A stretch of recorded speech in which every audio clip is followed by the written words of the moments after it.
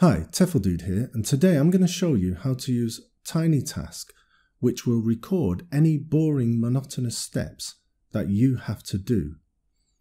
My example is where I'm going to copy a book from an online library and I take a screenshot of each page and then I convert it into a book. And in part one, I'm going to show you how I copied these images using TinyTask but in part two, I'm going to show you how I converted these images into a PDF document using NAPS 2. So first we're going to go to the archive.org or I think it's the openlibrary.org website where you can borrow and look at any book you like for free. They sometimes give you an hour or you can borrow it for 14 days. But it's always nice to keep it as a PDF copy. So one hour is all you need. Now, in order to get a good screen size resolution, you need to rotate the page. So we're going to rotate the display and then I'm going to use the TinyTask to record a 10 second action. Then I'm going to play this action 256 times or 300 times and I'm going to go away and have a cup of tea or go shopping, and it will do all of that work for me. Then we're going to convert it into a PDF document where the four steps we're going to do are to crop the image, then we're going to uh, lower the brightness so that the page is white, then we're going to OCR the document so we can copy text from it or find text, and then we're going to save it as a PDF. And once we've saved it as a PDF, we will probably print it as a PDF again because the image size is going to be bigger than A4. But I'll show you that at the end. So let's start by downloading TinyTask. Here, go to Google website, type in TinyTask but make sure you go down to tinytask.com and download the latest version.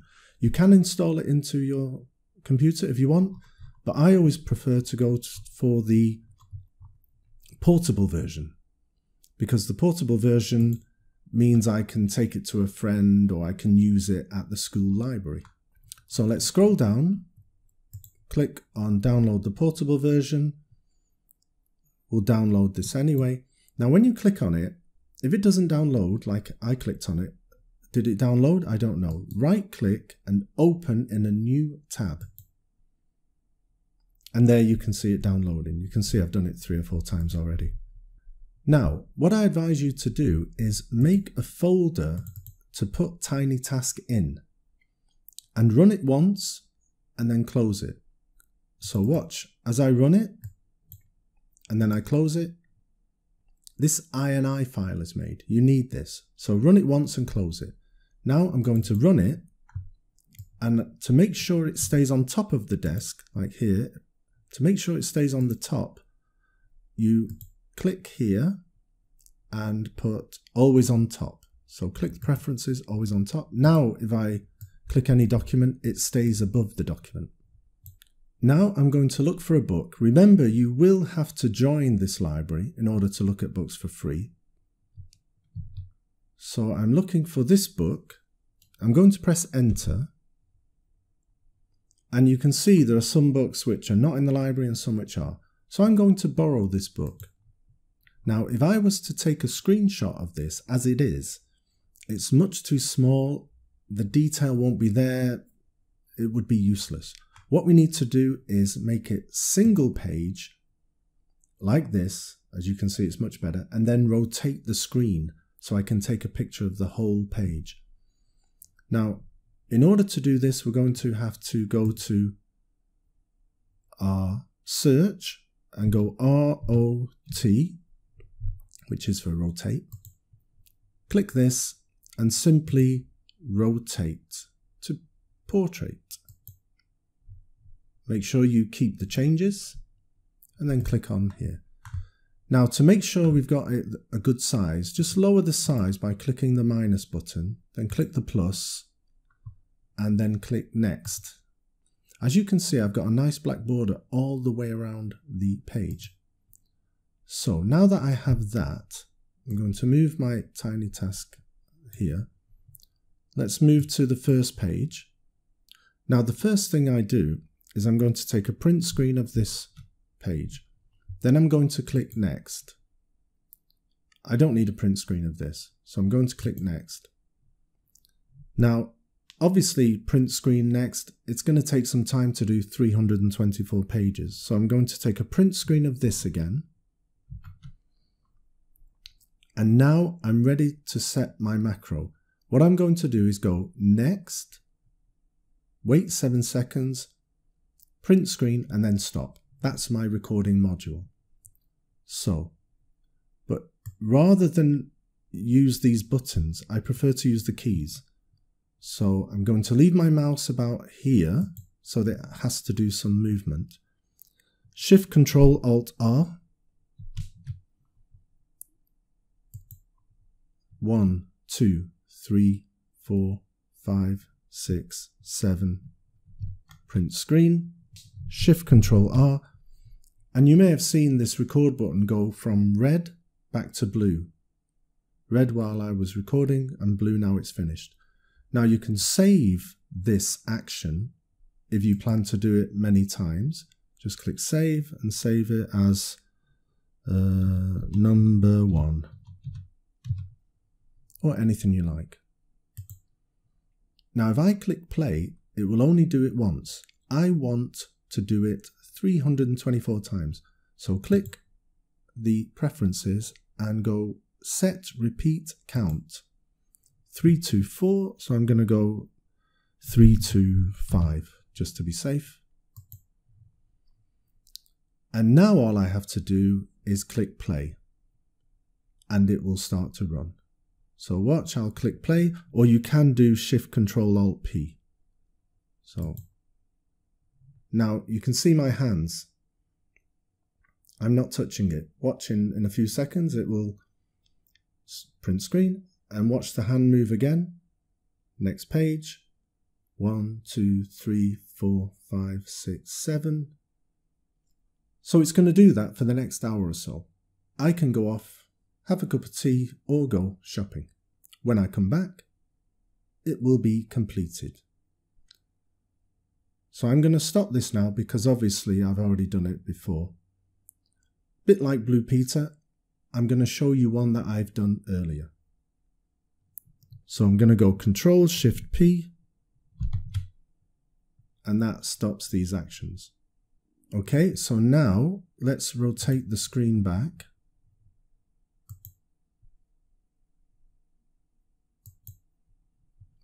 Don't forget to keep the changes. And now we don't need this.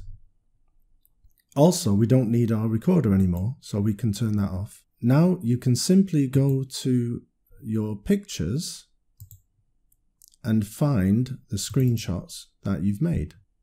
So here's the books that I made earlier. As you can see, there are all the pages. And now we need to open this NAPS2 in order to convert them. So go to the website where you can see naps2.com. You can download the installation version, but again, go to more files because I prefer the portable version because then you can use it on anybody's computer and you don't have to install it. So you download the zip and once again make a new folder for this and put the zip file inside it. Simply right click and unzip. Now this is ready to run. I just simply double click it and there you have the interface. So now what we need to do, I can close this off. Now I'm just going to drag in all the images. Obviously, if you're going to drag in them all, you'd go Control A, drag them all in. But I'm only going to drag in a few for as an example. So you would obviously drag all of them in. So these are my images. Now remember our path. We're going to crop them first, then brighten them, then OCR them, and then make them into a PDF. Now to crop them properly, they should be all the same size, but I think the cover is bigger than all the others. So I'm going to just crop one, let's say this one, go to image, crop, and let's make it bigger. And you can see these lines. This is my crop area. So I can do that and it will remember the crop area I've made. Uh, so I'm going to do this just for one page. There you can see it's been cropped. So first of all, you need to do Control A to highlight them all. Control and click on this one to eliminate it from the process. Go back to crop and it remembers where the crop marks were and you say apply to all selected images and you can just do that. And there, they're all cropped. Now we need to colorize them. Once again, let's get an example. Click on one icon and then brightness. Once again, we're only going to move the bottom icon. So let's move this to about 800 is good. So that's okay. Let's do that. And you can see it's now white.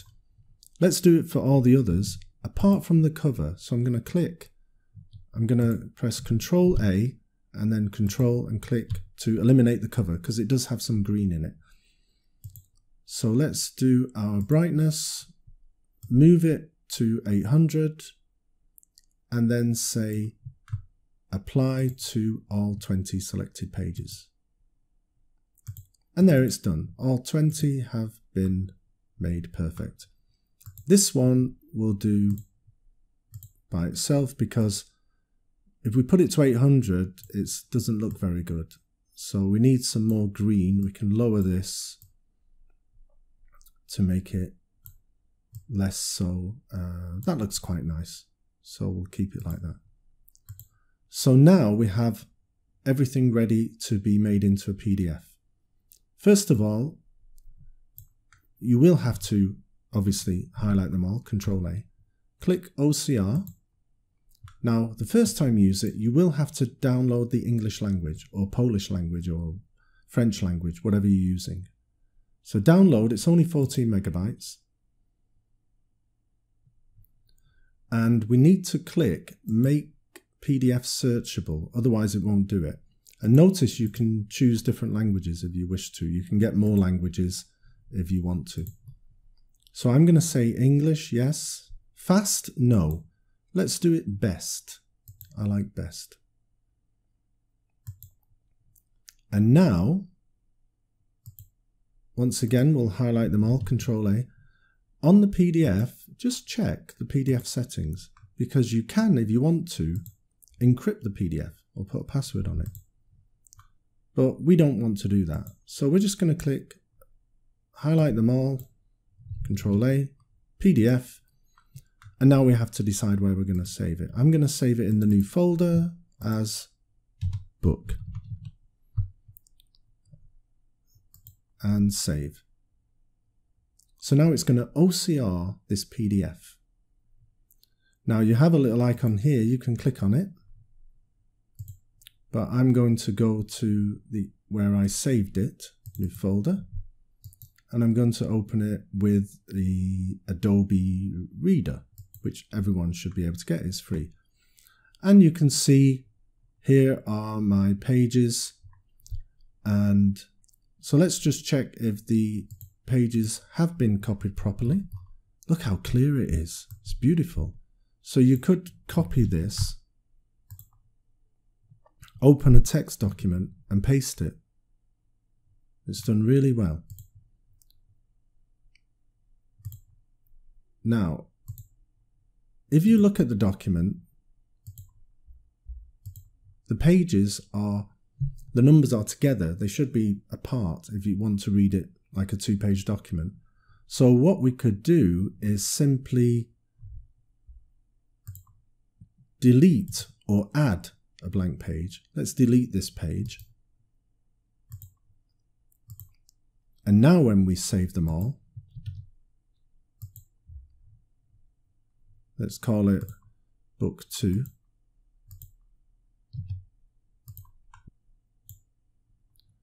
And now book two has the pages on either side. So two is on the left, three is on the right. And this is how we would normally read it. So that's our book completed.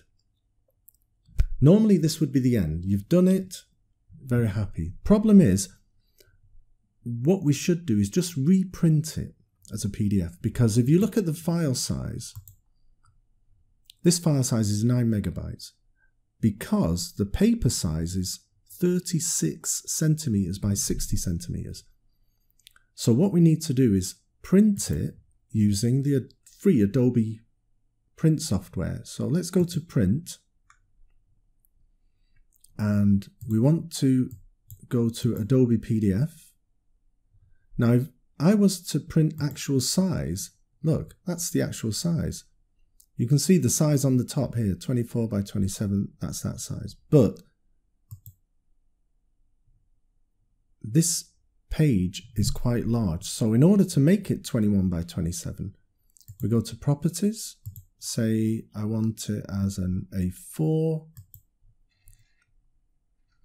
click OK, leave it as standard. And now, if I print this, it will print A4. Remember, the actual size is a lot larger. So let's press print. Remember, you must have document and markups included.